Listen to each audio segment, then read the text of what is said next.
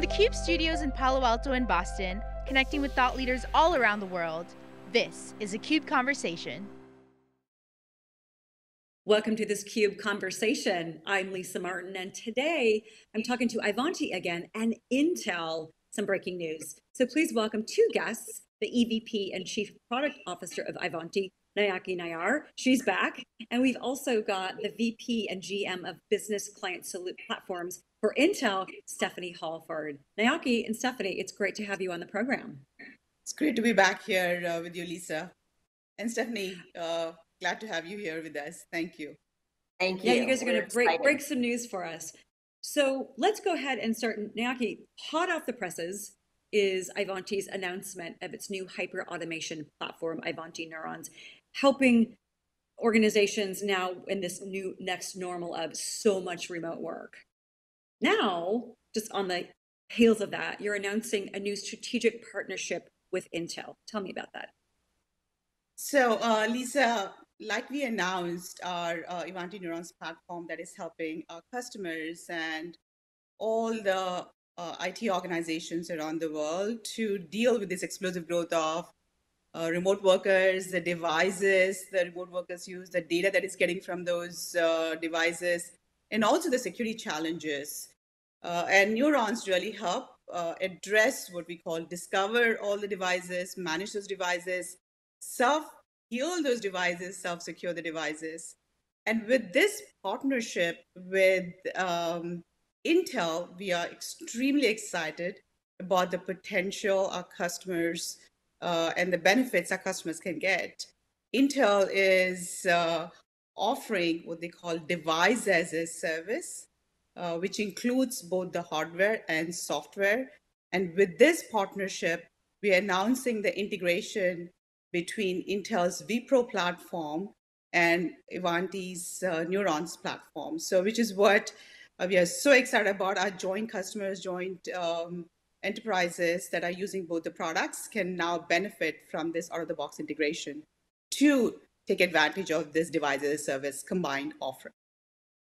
So, Stephanie, talk to us from Intel's perspective. This is an integration of Intel's endpoint management assistant with Ivanti Neurons. How does this drive up the value for the EMA solution for your customers who are already using it?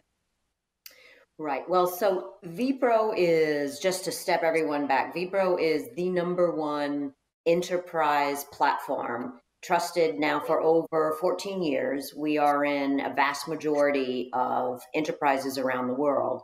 And that's because vPro is essentially our best performing CPUs, our highest level of security, our highest level manageability, which is our EMA or EMA manageability solution, which Ivanti is integrating, and also stability. So that is the promise to IT managers for a stable, the Intel stable uh, image platform.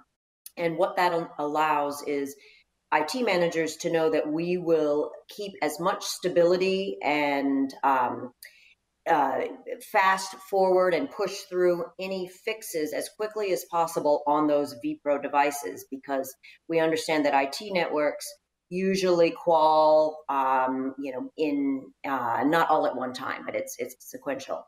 So vPro is our number one enterprise, built for business, validated, enabled, and we're super excited today because we're taking that remote manageability solution that comes with vPro and we are marrying it with Ivanti's top class uh, endpoint management solution. And Ivanti is a is a world leader in managing and protecting endpoints. And today more than ever, because IT's remote and Intel, for instance, our IT over one weekend had to figure out how to support 100,000 remote workers. So the ability for Ivanti to now have our remote manageability in band, out of band, on prem, in the cloud, it really rounds out Ivanti's already fantastic world class solution. So it's a fantastic start to what I perceive is going to be a great partnership. And probably a, a big target installed base. Now, can talk to me a little bit about COVID as a catalyst for this partnership? So many companies Stephanie talked about a great example of Intel pivoting over a weekend for 100,000 people. We're hearing so many different numbers of explosion of devices, but also experts and even C-suite from tech companies projecting maybe maybe 30 to 40% of the workforce only will go back. So talk to me about COVID as really driving the necessity for organizations to benefit from this type of technology. Yeah. Uh, so, Lisa, like uh, Stephanie said, right, as Intel had to take 100,000 employees remote over a weekend, that is true for pretty much every company, every organization, every enterprise, independent of industry vertical, that they had to take all their workforce and move them to be primarily remote workers. And the stats that we have seen is what used to be, I would say, 3 to 4% before COVID of remote working. Post COVID or during COVID, as we say, uh, it's going to be around 30, 40, 50%. And this is a conversation and a challenge every IT organization, every uh, C level exec, and in most cases, I'm also seeing this become a board conversation where they're trying to figure out not just how to um, support remote workers for a short time, but for a longer time as this becomes the new normal or the next normal or whatever you call that, uh, Lisa, and uh, really helping employees through this transition and providing what we call a seamless experience as we uh, employees are working from home or on the move or location agnostic, being able to provide uh, experience, a service experience that understands what employees' preferences are, what their needs are, and providing that consumer good experiences. What this joint offering between Intel and Ivanti really brings together for our joint customers. So you talked about this being elevated to the board level conversation. You know, this is something that we are hearing a lot of. That suddenly there's so much more visibility and focus on certain parts of businesses, and survival is. Uh, uh, so many businesses are at risk. Stephanie, I'd like to get your perspective on how this joint solution with Intel and Ivanti. Do you see this as an opportunity to give your customers not just a competitive advantage, but for maybe some of those businesses who might be in jeopardy, like a survival strategy?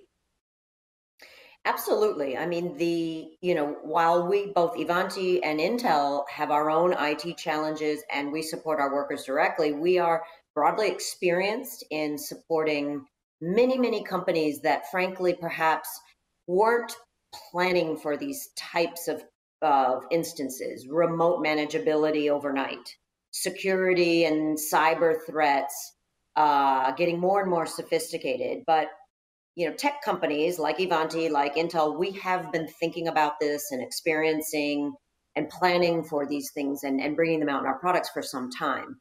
And so I think it is a great opportunity when we come together and we bring that, you know, IP expertise and uh, IT expertise, both IP technical and and that IT insight, and we bring it to customers who are of all industries, whether it be healthcare or financial or uh, medium businesses who are increasingly being managed by service providers who can utilize um, this type of device as a service and endpoint manageability. Most companies, and, and certainly all IT managers, will tell you they're overwhelmed. They are traditionally uh, squeezed on budget and they have the massive requirement to take their companies entirely cloud and cloud oriented, or maybe a hybrid of cloud and, and on prem. And they really would prefer to leave network security and network management to experts.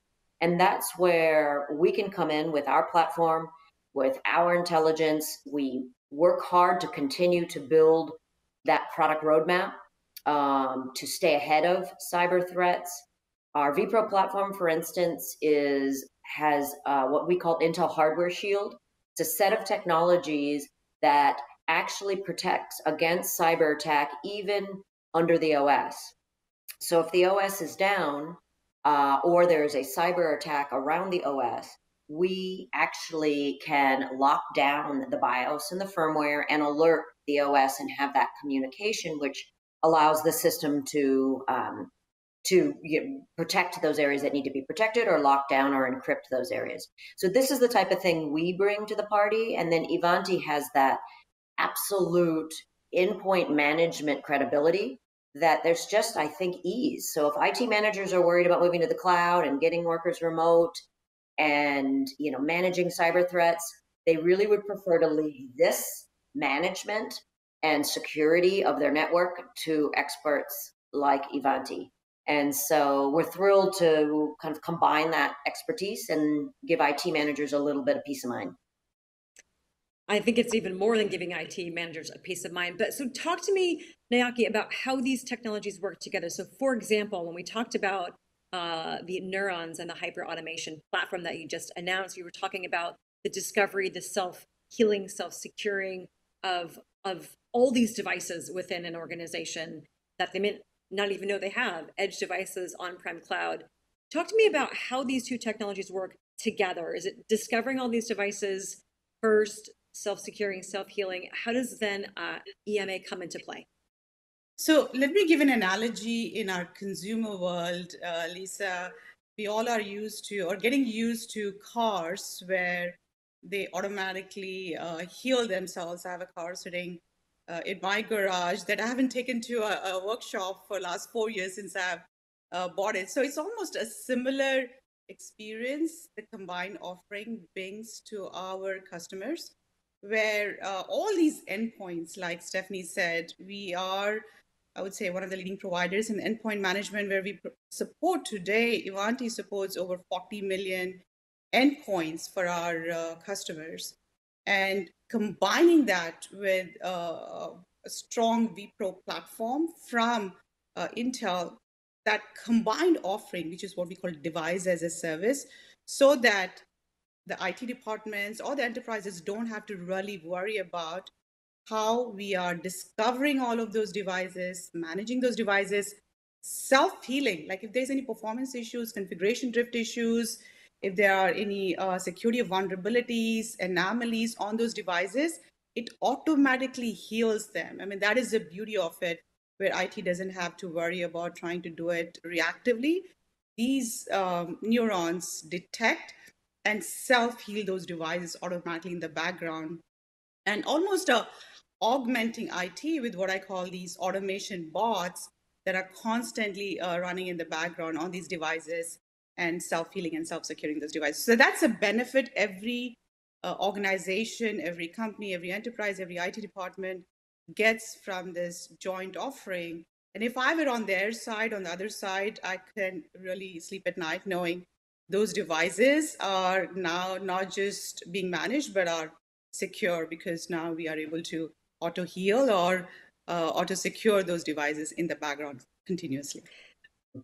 Let's talk about speed because that's one of the things speed and scale we talk about with every different technology. But right now, there's so much uncertainty across the globe so for joint customers, uh, Stephanie talked about the, you know, the large install base on of customers on the the B, vPro platform. How quickly would they be able to leverage this joint solution to really get those endpoints under management and start dialing down some of the risks like device sprawl and security threats? So, so the joint offering is available today. I mean, we uh, released the integration between both the platforms uh, with this announcement. So uh, companies that have both of our platforms and solutions can start uh, implementing it and really getting the benefit out of it. We, they don't have to wait for another uh, three months or six months. Right after this uh, release, they should be able to integrate the two platforms, discover everything that they have across their entire network, uh, manage those, secure those devices, and use these neurons to automatically heal and service those endpoints. So this is something they could get up and running pretty quickly. It's an out-of-box connection and integration uh, that uh, we worked very closely. Stephanie's team and my team had been working for, for months now. And uh, yeah, this is an exciting announcement, not just from the product perspective, but also the benefit uh, it gives our customers, the speed, the accuracy, and the service experience that they can provide to their end user, employees, customers, and consumers. I think that's uh, uh, super beneficial for everyone. Absolutely. And then that 360 degree view. Stephanie, we'll wrap it up with you.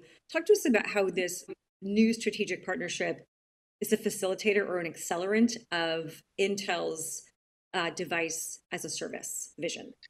Well, you know, first off, I wanted to commend Nayaki's team because our engineers were so impressed. They, you know, felt like they were working with the PhD advanced version of so many other engineering partners they'd ever come across. So I think we have a very strong engineering culture between our two companies and the speed at which we were able to integrate our solutions and at the same time start thinking about what we may be able to do in the future should we put our heads together and start doing a joint product roadmap on opportunities in the future, uh, network connectivity, Wi Fi connectivity, all sorts of ideas. So, huge congratulations to the engineering teams because the speed at which we were able to integrate and get a product offering out was was impressive. Um, but you know, second, secondarily, on to your question on device as a service, this is going to be by far where the future moves we know that uh, companies will tend to continue to look for ways to have sustainability in their environments. And so when you have device as a service, you're able to do things like end to end supporting that device from its start into a network to when you end of life a device and how you end of life that device has severe sub- sustainability and cost you know um, complexities and if we're able to manage that device from end to end and provide servicing to alert IT managers and self heal before problems happen, that helps obviously not only with business models and you know um, protecting data, but it also helps in keeping systems running and being alert to when systems begin to degrade or if there are issues or if it's time to refresh because the hardware is not uh, new enough to take advantage of the new software capabilities, then you're able to end of life that device in a sustainable way, in a safe way, and even to some degree provide some opportunity for uh, remediation of data and you know remote erase and continue to provide that security all the way to the end. So when we look at device as a service, it's more than just one aspect. It's really taking a device and being responsible for the security, the manageability, the self healing from beginning to end. And I know that that all IT managers need that, appreciate that, and frankly don't have the time or skill sets to be able to provide that in their own house. So I think there's the beginnings today, and I think we have a huge upside to what we can do in the future. Uh, I look at Intel's strengths and in enterprise and how long we have been, you know, operating in enterprises around the world. Ivanti's, you know, in the vast majority of Fortune 100s. And when you've got kind of engineering powerhouses that are coming together and brainstorming, it's it's I think it's a great it's a great partnership for relief for customer pain points in the future, which unfortunately there's going to be more probably. and Lisa, I think that's one thing beginning. we can guarantee. Yeah, and it's what sorry? beginning. This is this partnership is just the beginning. You will see a lot more happening between both the companies as we define the roadmap into the future. So we are super excited about all the work, uh, the joint teams. And Stephanie, I want to take this opportunity to thank you, your leadership, and your entire organization for helping us uh, with this partnership. Absolutely. We're excited by it. We are. We know it's just the beginning of great things to come. Absolutely. Well, just the beginning means we have to have more conversations. The cultural fit really sounds like it's really there and there's tight alignment with Ivanti and Intel. Ladies, thank you so much for joining me. Nayaki, great to have you back on the program. Thank you. Thank you, Lisa. Thank you for hosting us. And Stephanie, it's always a pleasure talking to you. Thank you. Likewise. Looking forward Thanks. to the launch and all the customer reactions. Absolutely. Yes. all right. Thanks, ladies. Thanks, Stephanie. For my guests, I'm Lisa Martin. You're watching this CUBE conversation.